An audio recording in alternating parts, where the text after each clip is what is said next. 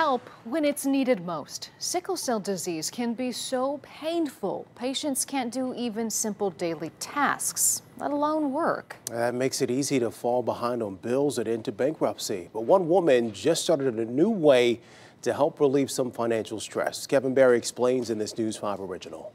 But people with sickle cell, when they're sick, they can't work. Most of them are on disability, and there's always a little gap, and they need some money from time to time. That's why Teresa McCurry created the MCS Fund, named after her daughter, Misha Saxton. Misha died because of her sickle cell disease at 14 months old, inspiring Teresa to help other patients.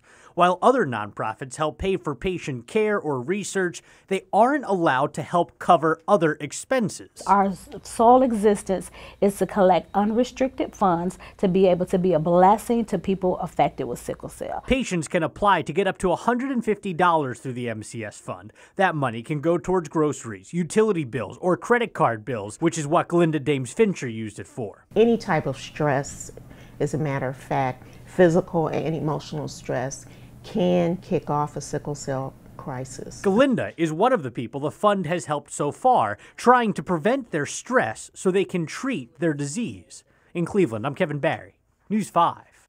Patients can apply through their social worker or another nonprofit. This summer, the MCS Fund plans on having a big event on World Sickle Cell Day. You can learn more about that event and the MCS Fund under this story on the News 5 app.